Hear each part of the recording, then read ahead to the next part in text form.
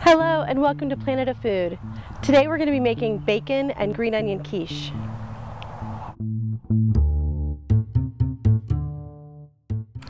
Bacon, green onion, and a sharp cheddar cheese complement each other so well. This quiche is sure to please everyone. First you will want to chop three strips of thick sliced bacon and cook until crispy and brown. When the bacon is finished, be sure to remove from the pan so it does not drown in the grease. You will need the following ingredients for the quiche. A half a cup of sharp cheddar cheese, one cup of milk, three green onions chopped, and three eggs.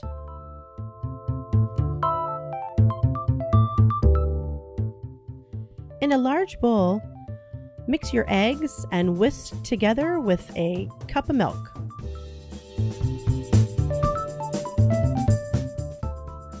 When your eggs and milk are whisked together, next add in your green onions and your cheddar cheese.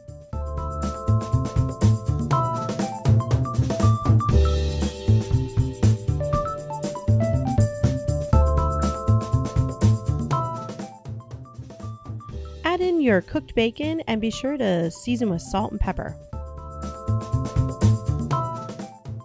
For this recipe, I'm using a store-bought crust. Be sure to pierce along the bottom of the pan and around the sides so the crust does not bubble. Now pour your egg mixture into the pie shell and be sure to spread your ingredients around so they are evenly distributed.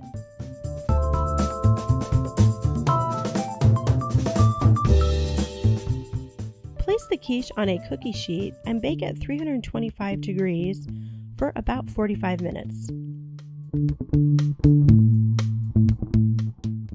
When the quiche is finished, allow it to rest for about 20 minutes before cutting.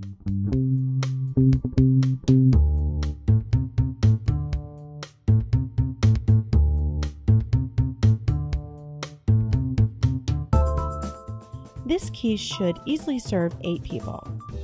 I like to serve it with fresh steamed asparagus or seasonal fresh cut fruit.